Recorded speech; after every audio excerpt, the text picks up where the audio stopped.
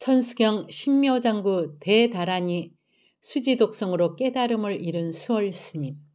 조선말 선종을 다시 일으킨 경어 스님의 제자인 수월 스님은 출가한 이래 천수경의 신묘장구 대다란이를 하루도 거르지 않고 앉으나 서나 수지독성을 하였는데 수월 스님은 지난날을 해고하시면서 나는 천수경의 신묘장구 대다란이로 깨달음을 이루었다 라고 말씀하셨다.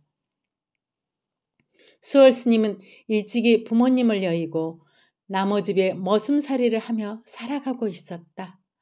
머슴살이를 하던 주인집에 경어 스님이 들러서 하룻밤을 지낼 때면 수월 스님이 기거하던 방에서 같이 잠을 자고는 하였는데 수월 스님은 이때 출가를 하기로 결심을 하였다.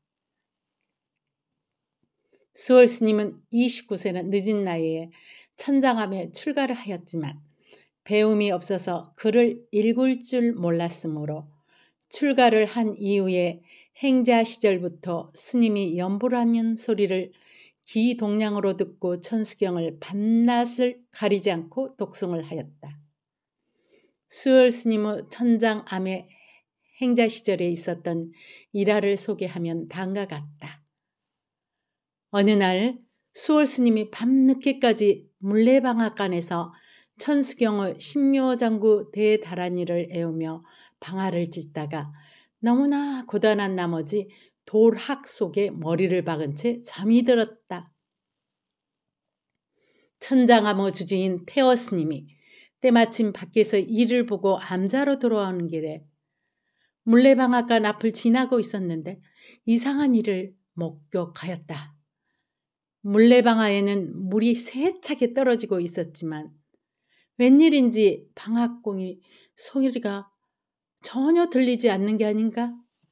더욱 놀라운 것은 방학공이가 하구맹에 매달려 있는데 수월행자가 돌학 속에 머리를 박은 채 자고 있는 것이었다. 깜짝 놀란 태워 스님이 재빨리 수월 행자를 끌어내자마자 방학공인은 다시 방아를 찢기 시작했다. 이 신기한 일을 겪고 나서 태워 스님은 수월 행자에게 삼위계를 주었다고 한다. 천수경의 신묘장구 대다란이를 지송하여 번뇌 망상과 업장이 완전히 녹아버린 수월행자. 위에서는 물레방아 공이조차 멈추어 버린 것 같다. 또한 수월 스님의 일화를 살펴보면 삼위계를 받은 해 수월 스님은 7일 동안 영맹정진을 하였는데 이때에도 신묘장구 대다란이를 끊임없이 외웠다고 한다. 7일째 되던 날 밤 천장암 아랫마을 사람들은 천장암 근처에서 엄청난 불기둥이 일어나 산 골짜기를 환히 밝히는 것을 목격했다. 천장암에 불이 난 줄 알고 달려온 마을 사람들은 그 불빛이 바로 수월 스님의 몸에서 나온 방광임을 알고 한없는 기쁨을 맛보았다. 그 후로 수월 스님은 한 번 보거나 들은 것을 결코 잊지 않는 지혜를 얻게 되었고 일생 동안 잠을 자지 않게 되었으며 사람들의 병을 고쳐주는 신통력이 생겼다고 한다. 스승인 경어 스님이 열반에 드신 뒤인 1912년 무렵 수월 스님은 당시 나라 잃은 조선 사람들이 쫓기듯 건너가던 두만강을 건너 북간다로 가셨다. 거기서 스님은 나지로는 소를 치며 틈틈이 큰 솥에 밥을 짓고 밤새워 집신을 삼아 유랑하는 동포들이 오가는 길목에 그 주먹밭과 집신을 내놓아 그들이 주름배를 채우고 집신을 갈아 신을 수 있게 하였다. 스님은 열반에 드실 때까지 누더기 옷만 입고 늘 말없이 일을 하시며 아픈 사람들을 치료해 주었으며 산이나 들에서 일하는 사람들에게 밥을 지어다 주었다. 그것이 스님이 평생을 초지일간한 수행이었다.